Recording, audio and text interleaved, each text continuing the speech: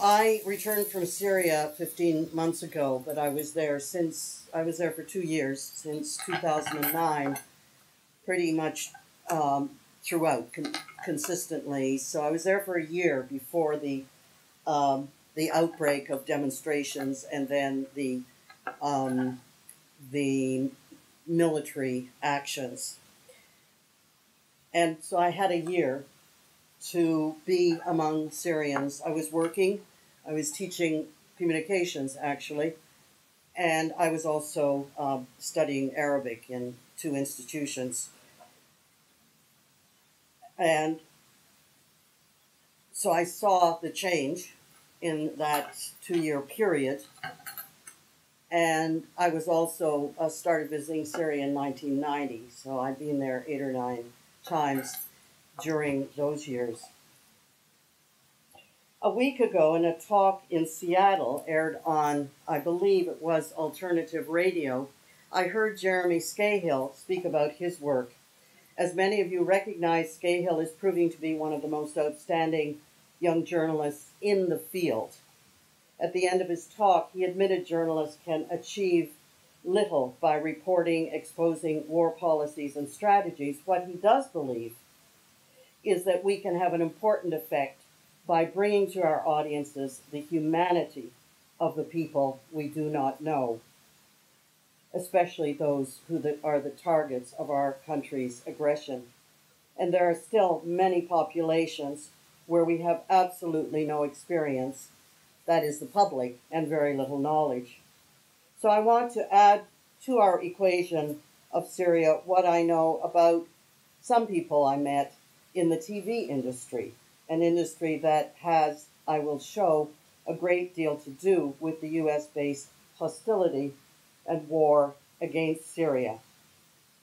This is a strategy that happens, well, this is a hostility that happens by design through destruction in armed conflict, but also through sanctions.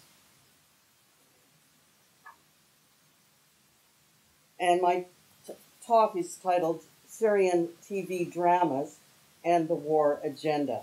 Now, some of you may be smirking about this. What have Syrian soaps to do with war and aggression and the internal politics of Syria? Before that, I want you to refer to my own productions on WBAI so that you can hear the voices of Syrians beyond the context of war and religious identity.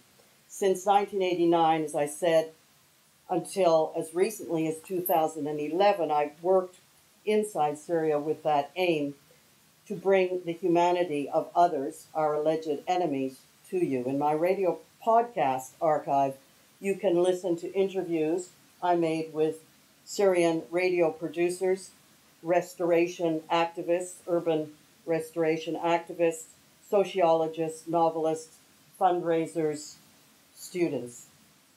So on my Radio Tahrir webpage, I just consulted recently, there are 11 programs in which I have, these are podcasts, uh, which I have interviews with these Syrians.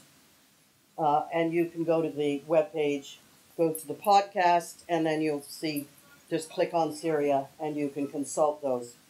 And then I have occasional blogs on Syria also, again, on my webpage. Some of you know that I'm an anthropologist, and this is partly in my capacity that I'm here as a speaker. I'll speak about what may seem a rather unprogressive, unsophisticated, and plebeian subject Syrian TV dramas, or as we call them here, soaps, for idle housewives, right?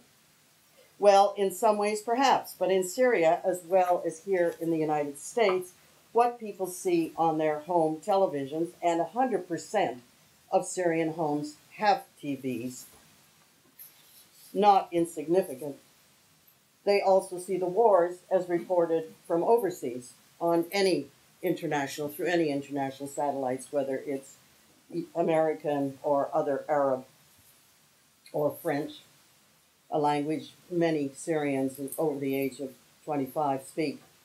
TV drama is a major industry in Syria, employing thousands of the country's most creative and liberal people It's a significant factor in Syria's economy and has major social and political impacts on people's lives.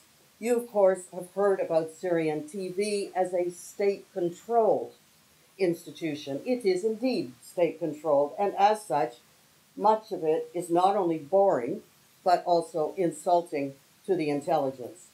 But with major investments from the Syrian government, from emerging private wealthy uh, wealthy class in Syria that developed after the privatization, capitalization of Syria when it um, broke ties with the USSR. It had been very socialist uh, oriented economy until then, and from investments from foreign powers, mainly Gulf states, in the early 1990s or mid 1990s, a new industry of TV dramas developed. There is no significant film industry. There are a few filmmakers in Syria, but most of the talent and interest in that area goes into TV. The, this new TV uh, drama industry tapped Syrian talent that normally go into films or go abroad. Well known Syrian novelists, musicians, singers, actors starred in these and attracted many ambitious and talented youth. Names you may not know, but are well known to 300 million or more men and women across the Arab world. In the past eight or nine years only, most observers throughout the Middle East, those who know Arabic, will agree that Syrian TV dramas eclipsed that of the better known and long established, respected Egyptian TV industry, which for decades dominated the industry and was and remains highly respected and prolific. The effect, however, of the Syrian TV dramas in in um, eclipsing the Egyptian uh, was also to uh, create a new Arab consciousness uh, because the Syrian dialect, which is closer to the classical, established a new standard for spoken Arabic around the Arab speaking world. And this, of course, involves 22 countries, from Morocco to Yemen. What am I getting at? Well, that Syrian TV dramas, whatever their subject, has an Arab nationalist impact. Arab nationalist. And that is something that threatens the United States for some reason I can't understand. Maybe you can help me. And of course, more perhaps understandably affects uh, or threatens Israel. Features of Syrian TV drama. Uh, these spread through 30 part series that played during the 30 days of the holy month of Ramadan. But they're not, the subjects are not at all related to religious identity or sentiment or values. So you had them produced initially in 30 episodes. Some, such as one you may know, Bab al Hara, it's a post colonial period drama, had extended now through six seasons and could be found on several channels of reruns as well.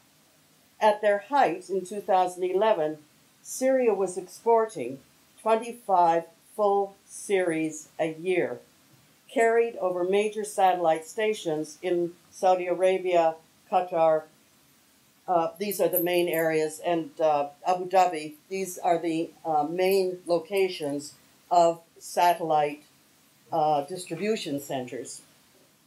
These employed thousands of technicians, many of I, I know, costume designers, researchers, the full array of production team you find anywhere in the world. Many of them are, in fact, government employees from state TV who moonlight in these private and lucrative productions. As a result, you often find very few of them at their home base at the Syrian TV center itself. A good pro- proportion of these productions are family dramas come romances. Many are comedies, but they include political themes. Yes, political. Not that the Syrian version of West Wing or FBI espionage stories, but historical. As one leading Syrian novelist told me, we can comment on the current state of our government, that is, critically comment, by writing about a parallel situation from our history. And through that metaphor, we can get a message out. Syria excelled in its historical dramas. Note that I use the past tense now. As scholars pointed out, the sets are magnificently researched. Now, if you're watching a Civil War era or an early African American uh, history film, you may not think about it, but in fact, the sets, the style of uh, the clothing, uh, the language, these are all things that you will look at critically and that will be part of your own historical identity. These historical dramas Syria excelled in and provided a new history, a new, not interpretation, well, I guess you could call it interpretation of Arab history, which were very, very widely uh, sought out and appreciated and commented on. I have sat with Syrians or other Arabs actually in other parts of the Arab world watching these dramas and hearing them talk about the excellence of the language used that related to that period. And some of these people I was listening to were professors or historians or writers. Also, the sets, the costumes. And this has developed a greater consciousness across the whole Arab world of their own historical and religious identity. Few other countries produce these in the quantity and quality that Syrian TV did. Syrian produced dramas also that featured conflicts between Israel and Arab countries and, of course, the struggle for Palestine. Some Syrian dramas were not- notably critical of increasingly militant and fundamentalist Islam. One notable one, which was extremely popular, I think it, it was produced in 2010, is called Ma Malakat Aimanakum. It's one of the most popular Ramadan series in the past decade, which which tackled, among other things, incest, male chauvinism, and most important, religious extremism. And I understand from a professor who herself, you know, ran home or made sure she was home at whatever time it aired, uh, very much appreciated it. She said there were many disputes publicly over this because one, uh, many of those who were uh, uh, some characters in the series uh, were refugees from Iraq who were depicted participating, involved in uh, prostitution rings. Uh, another was the characterization of some chauvinistic, let's say, but mainly uh, there were religious groups who objected to the portrayal of religious extremism, and the, one of the main characters in the series is a man who abused his sister and uh, was a, a, extremist, a fundamentalist, and eventually became a militant. Uh, they tried to stop the Syrian government from airing this and uh, they failed. The Syrian government decided to let it proceed. And you can actually watch it. I, I don't think it's translated into English, but I'll give you the reference to it, and you can also find a review of it in Middle East Online, which I can give you later. Such portrayals are not in the interest of either the U.S. or Israel. Some years ago, you may know Hezbollah TV, Al Manar, was banned from being broadcast in the US and Canada, and I think parts of Europe.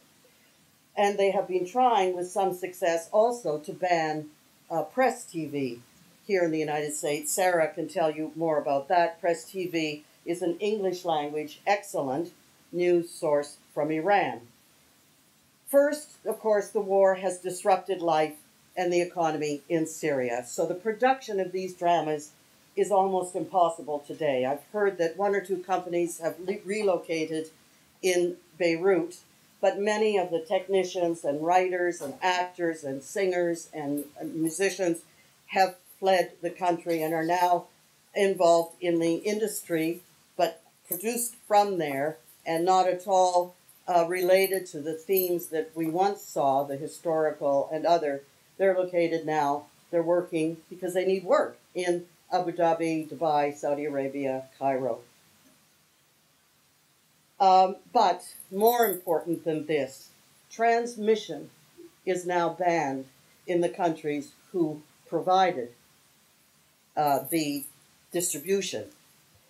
For example, in June 2012, the Arab League, of which Syria was a founding member, officially asked the satellite operators of Arabsat and Nilesat to stop broadcasting Syrian media, including Syria TV. And on September 2012, Syrian television channel broadcasts were broken off on those two that I mentioned, and Syrian drama TV broadcasts were stopped on Hotbird. That was in October 2012. So, politics, TV dramas, you can see what's going on there. And this is just one of a whole series of sanctions, whether they're conducted from here in the United States, through Europe, but also through American pressure and influence in the Arab world. And what are Syrians watching today? Because with a war, you spend more time at home, if you have a home left.